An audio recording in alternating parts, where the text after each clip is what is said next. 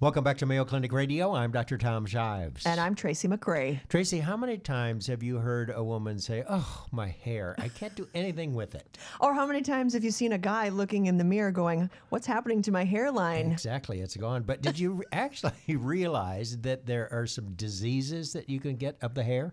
I did not, but thank goodness we have Dr. Dawn Davis, our very favorite dermatologist from Mayo Clinic, with us to discuss hair issues. Thanks is there for a having real, me. Is there a real show topic on just hair? There is. In fact, I think we could talk about hair for multiple shows and hmm. still not be finished. Well, I suppose if you throw the scalp in there with it too. Right. And so the issue with the hair is that it comes from the scalp. And so there are two different things that can go wrong to give you a hair disorder. One, you can have an issue with the actual hair shaft, which is what we call hair, the f- dead protein that comes in a long chain that comes out of our scalp. Or you can have issues with the scalp itself that then causes the hair to not grow. And so I think the lay public is very aware that as you age, you can have thinning of the hair, what people would call male pattern baldness. And I think that people are becoming more aware that women can have male pattern baldness. We just call it androgenetic alopecia, and it can either have a male pattern or it can have a female pattern because men and women lose their hair differently from um, male pattern baldness, if you will. The other thing is is that I think people know that after a stressful event, because hair is mostly cosmetic and is there to uh, protect our scalps a little scalps a little bit and also retain a little bit of heat. But from a body standpoint, other than that, it's purely cosmetic. That if you have a stressful event like delivering a baby or having a surgery or getting a divorce, that you can shed your hair out of stress and it will grow back. We call that telogen effluvium say that again? Telogen effluvium. So telogen is the shedding hair phase. We all grow and shed our hair in cycles. Otherwise, we'd be like a snake or a reptile, and we'd grow and shed a skin all at once.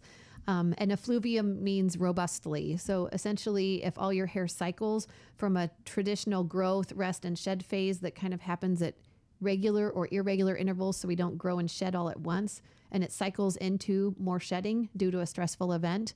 Everything kind of gets upset. The apple cart gets turned over. People shed way more of their hair than they usually should and it takes about 9 to 12 months for the hair to regain its normal um, grow and shed cycle We we had uh, said we could do a show about hair, and you said there's actually diseases of the hair, Yes. which I'd never heard of that before. So people think about growing and shedding hair and stress, and they think about female and male pattern baldness. But I, I'm glad that we're talking about this because people can actually have disorders of the hair shaft itself. The hair shaft is a growth of dead protein chains that come out of your scalp and make the actual hair.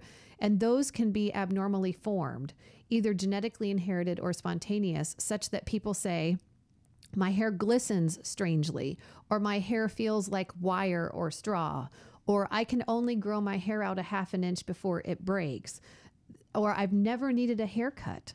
Um, my hair is normal, quote unquote, and density and texture, but I've never had my hair cut and I'm 30 years old. Why is that?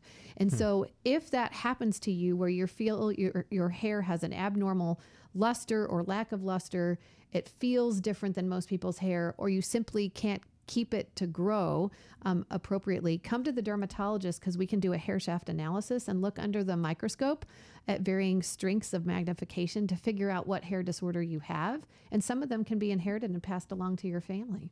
Is it a hair disorder or uh, is it the hair follicle that actually produces the hair that's the problem? That's a great question. So it's a genetic abnormality or structure abnormality from the bulb. Hair is like tu- a tulip. So I always tell my patients when you grow hair, it's like growing a tulip. You have a bulb that sits in the ground, which is your scalp, and it has to be oriented in the right direction and it has to have growth factors around it to then grow a shaft that if it were a flower would be a tulip, but instead is the hair shaft. So it gets composed in the bulb, which is where things go abnormal. You can also have abnormalities of the protein structure that supports the hair that keeps it anchored in your scalp.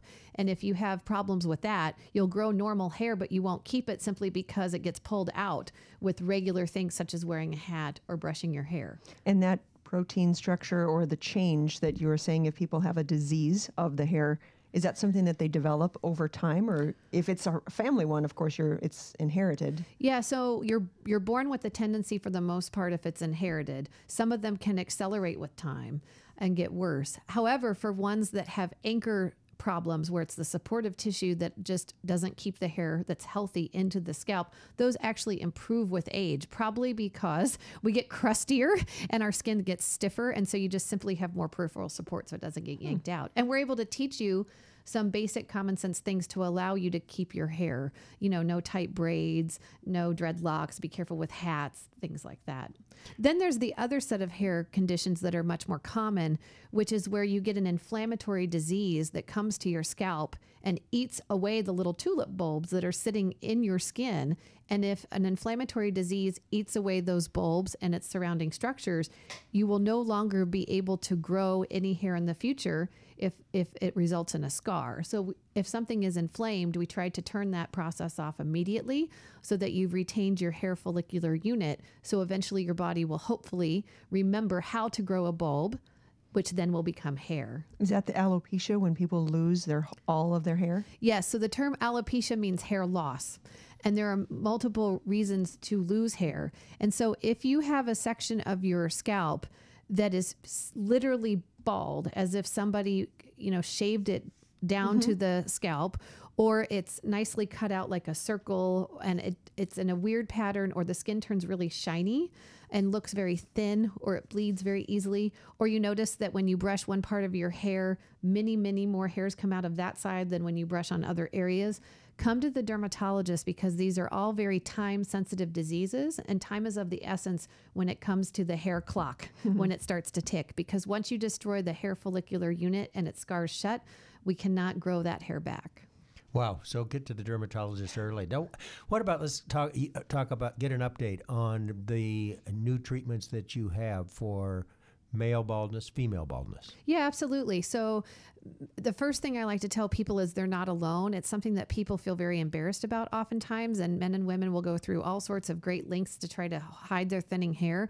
Time is also of the essence because the more we can block those hormone receptors on the scalp, the more your hair will be able to grow with regards to um, male or female pattern baldness. The best things to do are to use over the counter uh, Rogaine, which is available in 2% strength or 5%. There's no reason to use 2% when you can use 5%. Traditionally, it's labeled as being marketed for men, but it's just as good for women.